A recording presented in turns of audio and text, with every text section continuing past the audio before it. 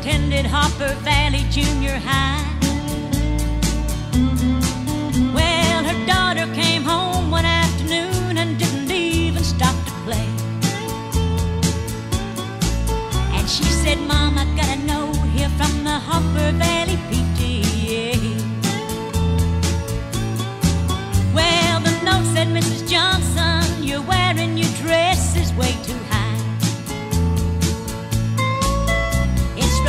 Reported you've been drinking and uh, running round with men and going wild.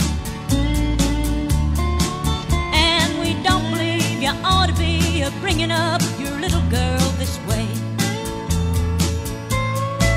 And it was signed by the Secretary Harper Valley PTA.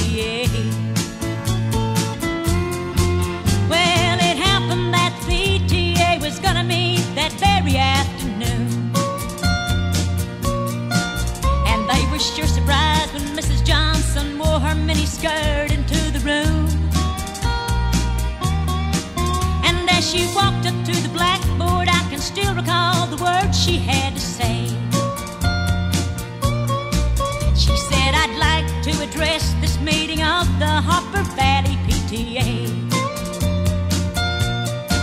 Well, there's Bobby Taylor sitting there, and seven times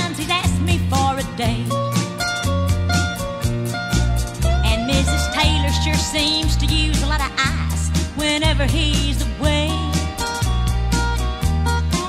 And Mr. Baker, can you tell us why your secretary had to leave this town?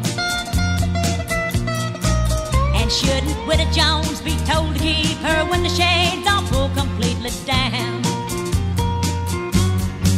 Well, Mr. Harper couldn't be here cause he stayed